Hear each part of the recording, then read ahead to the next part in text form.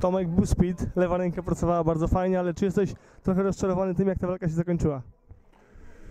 Znaczy najważniejsze zwycięstwo i, i jak ja wyglądałem, bo to, to było się mój, dla mnie był sprawdzian. Ja nie chciałem e, e, jakby sam siebie sprawdzić po tych 8 tygodniach ciężkiej pracy w Łomnicy, e, jak będę wyglądał w ringu. Jeżeli mówię, moje atuty wrócą nogi i, i, i szybkie ręce, to znaczy, że jeszcze mogę się pokusić o walkę z, z zawodnikami z, z. Zobaczymy, czas pokaże, no trudno dzisiaj gdybać, no bo, bo e, walka się skończy, zakończyła, więc e, najważniejsze, że kibice dopisali i przed telewizorem i na pewno też co wierzę. No i co, wracam do USA. E, Myślę, że coś tam się dowiemy nie, niebawem, tydzień, dwa, co dalej. A jak ocenisz postawę Przemka? Bo trzeba przyznać, że silny na pewno był w takich y, przepychankach, chociaż nie było ich dużo, ale czy jego ciosy robiły na tobie wrażenie? Nie było ich zbyt wiele, to zaznaczmy, natomiast no jak ocenisz ogólnie jego postawę? Znaczy, mm, ma, ma 47 lat, więc y, widać było, że nawet gdy przyjmował cios, szedł, szedł do przodu.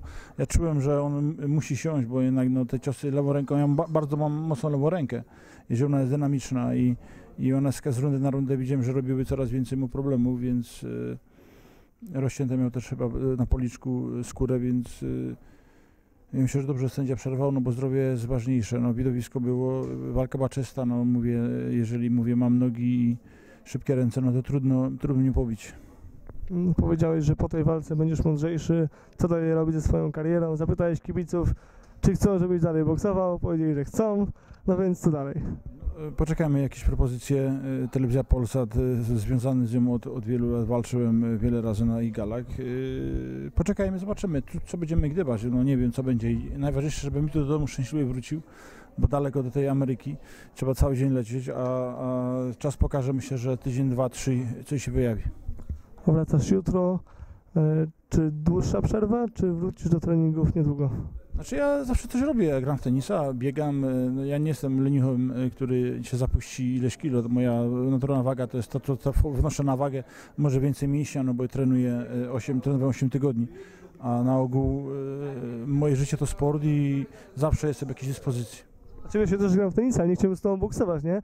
Ale powiem ci jedną rzecz. Czy jeśli chodzi o propozycje, czy tylko w grę wchodzą propozycje polskie, żeby znowu gdzieś tam zapełnić halę, czy też amerykańskie?